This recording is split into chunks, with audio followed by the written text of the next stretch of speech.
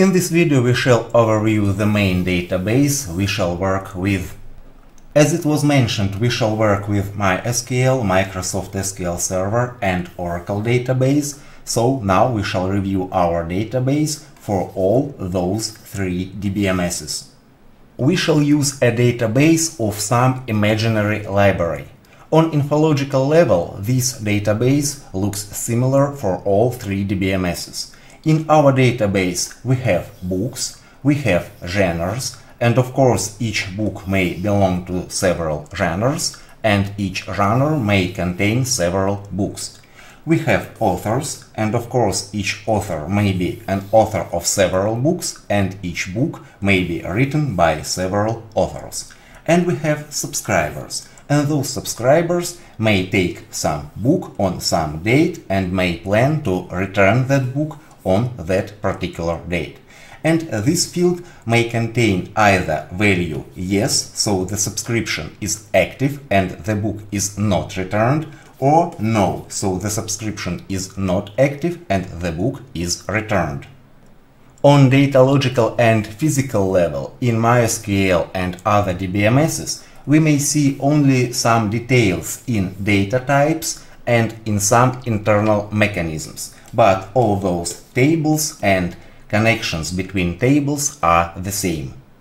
For Microsoft SQL Server we see the same picture, the same tables and the same relationships between those tables, but only some little difference in data types and in some internal mechanisms we shall talk about later.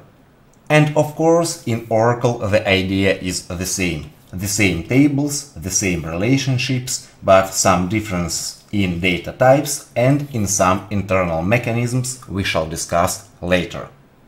Let's look at the data. For books we have some identifier for each book, title for each book, publishing year and the quantity of that book in our library. For authors, we have only the identifier and the author name, and of course in real life we may have a lot, a lot, a lot of more data here, but for educational purpose we shall use such a simplified approach. For genres we also have an ID and genre name. For subscribers we also have an ID and subscriber name. And please pay attention that this is not a mistake we have two subscribers with exactly the same name. This was made on purpose to show and explain some SQL queries we shall see further in our course. Now we shall look at our association relations. So this table, here it is, shows that the book with such an ID, the book is here, was written by an author with that ID. The author is here. And we may also see that the same author with that ID has written that book. The book is here. The next association relation shows the connection between books and genres. And we may see that book with ID 1, that book is here in that table, belongs to both this and this genres from this table. And the last table, subscriptions. It contains the ID of a subscription, the ID of a subscriber, the ID of a book, the start date when the book was taken and the finish date when the book was returned, and the information about was this book really returned, so here it is, the subscription is not active, or if this book was not returned, the subscription is active, as in this case. And such combinations of dates are also not a mistake. This was made on purpose to show how several specific queries work. Now let's extract some data.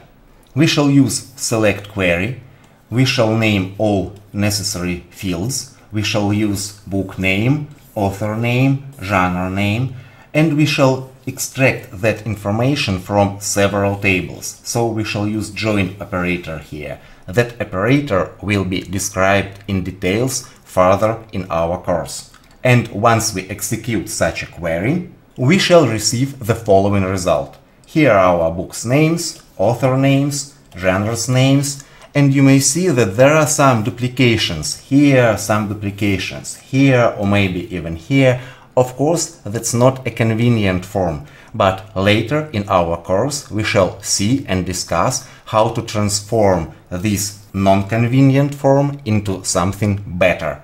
Now let's execute another query. We shall select book name, subscriber ID, subscriber name, the start and the finish date of a subscription.